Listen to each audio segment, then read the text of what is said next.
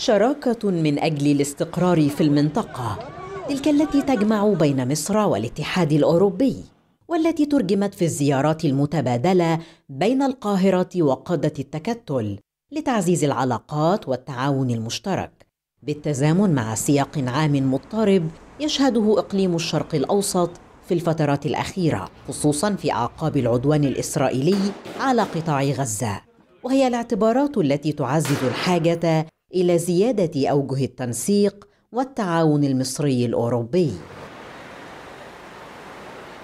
وشهدت الفترة منذ السابع من أكتوبر الماضي وحتى اليوم العديد من المباحثات المهمة بين المسؤولين المصريين ونظرائهم الأوروبيين وخصوصا المباحثات التي عقدها الرئيس المصري عبد الفتاح السيسي مع عدد من الزعماء الأوروبيين على غرار مباحثاته مع المستشار الألماني والرئيس الفرنسي إيمانويل ماكرون واستقباله لرئيسة المفوضية الأوروبية أرسولا فوندرلاين وكذلك استقبال رئيسي وزراء بلجيكا وإسبانيا جنبا إلى جنب مع العديد من المباحثات المباشرة والهاتفية الأخرى مع الزعماء الأوروبيين.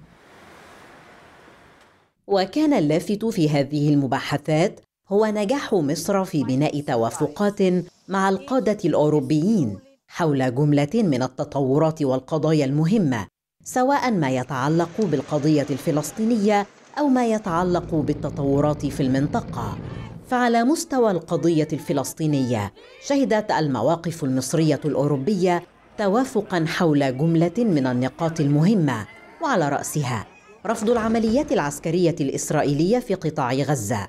والمطالبة بوقف إطلاق النار والتأكيد على ضرورة تكاتف الجهود من أجل التعامل مع الأزمة الإنسانية غير المسبوقة في القطاع وذلك عبر زيادة حجم المساعدات الإنسانية التي تدخل إلى غزة جنبا إلى جنب مع توافقات بخصوص ضرورة استعادة مسار السلام العادل وإقامة دولة فلسطينية مستقلة. وعلى المستوى الإقليمي كانت المواقف المصرية الأوروبية واضحة وتشهد توافقا كبيرا خصوصا فيما يتعلق بمسائل رفض توسع رقعة الحرب وضرورة دعم جهود التسوية السياسية في دول الأزمات جنبا إلى جنب مع رفض كافة مظاهر تهديد الأمن الإقليمي.